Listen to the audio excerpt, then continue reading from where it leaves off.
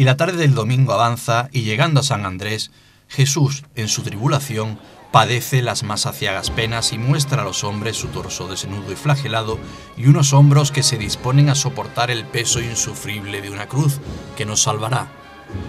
Y además nos salva a todos sin excepción. Cristo no entiende de razas ni de colores, de negros o blancos, de payos y gitanos. Tanto es así que esta es la cofradía originariamente de los de Razacalé, y él es el gitano por excelencia. Aquí la Guardia Civil verde oliva, siempre el verde asociado a la esperanza, no persigue a aquellos ni mucho menos, que aquí todos son hermanos y se quieren como tal y tienen los mismos padres, benditos sean siempre.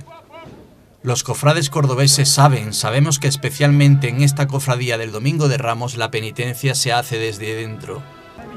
Desde fuera se palpa en el ambiente ese gozo anticipado que viviremos justo una semana más tarde, cuando el gitano resucite en Santa Marina, que para eso también fue su casa. Y es que los cofrades, como cristianos que somos y debemos serlo, en estas latitudes, en el sur, sabemos, como en una película mil veces vista, que no todo queda en la corona de espinas que lleva el nazareno sobre su cabeza. No queda en un torso salpicado de sangre de decenas de azotes que manchan ya su túnica de color rojo martirial o blanca como esa gloria que le espera y no quedará en un madero que después de hendirse en sus hombros desnudos sostendrá el peso de su cuerpo lacerado.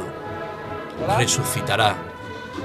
Y por eso, justamente, vivimos la Semana Santa como solo sabemos vivirla aquí, en la calle, con ambiente festivo, con niños que ríen y gritan, con padres que se emocionan al paso de las sagradas imágenes de Cristo y María, aunque este año no sea así. Pero vivimos en la esperanza, bendita esperanza, si siempre la necesitamos mucho más en estos momentos aciagos. A ella nos aferramos mirando arrobados la belleza de una mujer morena, guapa, que parece una niña y que en un soplo divino quiso Dios por medio de su Espíritu Santo guiar las manos, las muñecas y los dedos de quien la talló, Juan Martínez Cerrillo. Por eso, porque creemos en la salvación, los cristianos tenemos la más bella esperanza en los ojos gitanos y la cara morena de quien es madre de todos, que no entiende de razas ni de colores de piel del hombre y que nos lleva a tierra firme tras las tormentas de la mar que es nuestra vida.